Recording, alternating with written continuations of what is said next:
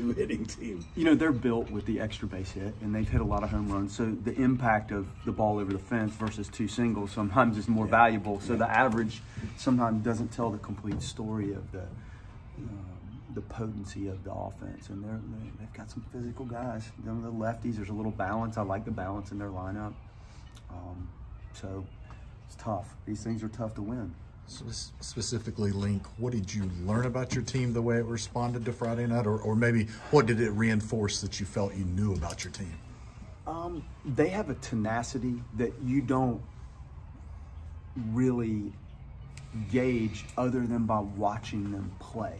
It's not rah-rah. It's not in your face anything um, to display the toughness. They just grind and quietly find ways to find a chink in the armor, quite frankly, like to take advantage of the base running stuff or the whatever it is. And as you get into the game, then you have a little better sense, like in game, for what the hitters look like or what they've seen from your your pitchers before. Like you, that savviness of, of in game adjusting and managing.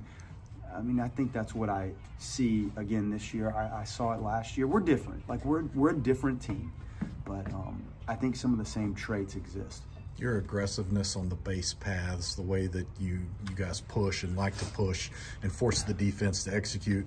How significant was that today? Huge. How important is it to get that maybe in the thoughts of future opponents as well? It's huge, and and people know like they do the exact same preparation we do.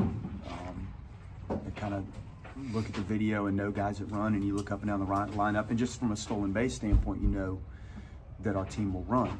But the word is out, like going first to third and, and some of the other things that our guys have become so comfortable doing, it changes it. So you, you create an uncomfortable feeling when you're playing us. That's exactly what I want. And it takes a, a little bit of grooming to get them to understand why it's so important and how it impacts them because –